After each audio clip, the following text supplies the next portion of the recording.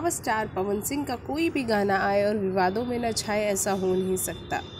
कमरिया पत्रे पत्रे पहले से विवादों में था कि इस गाने को टुनटुन यादव ने पहले गाकर पवन सिंह पर चोरी का इल्ज़ाम लगा दिया और सोने पे सुहागा तब हो गया जब इसी से मिलता जुलता सॉन्ग अब अक्षरा सिंह लेकर आ रहे हैं। जी हाँ अक्षरा सिंह ने अपने इस सॉन्ग का प्रमोशन भी कर दिया है और तो और इस पर उन्होंने रील भी बनाई है।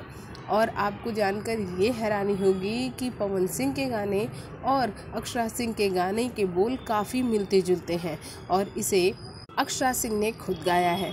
अब आप समझ सकते हैं कि इन दिनों अक्षरा सिंह की लोकप्रियता में अच्छी खासी गिरावट आई है। अब वो पावर स्टार पवन सिंह के इस गाने से मिलता जुलता कोई भी गाना लेकर आती हैं तो वो अपने आप विवादों में आ जाएँगी। और जैसे ही वो विवादों में छाएँगी, उनका गाना भी विवादों में छाएगा। भाई, आप सभी जो कि पावर स्टार पवन सिंह के फैंस हैं वो ये जान लें कि पावर स्टार पवन सिंह के इर्द गिर्द अगर विवाद खड़े किए जाते हैं तो उन्हें बदनाम करने के लिए कम विरोधी अपने मुनाफे की ज़्यादा सोचता है। भोजपुरी जगत की हॉट और मसालेदार गॉसिप के लिए हमें सब्सक्राइब करना बिल्कुल ना भूलिए।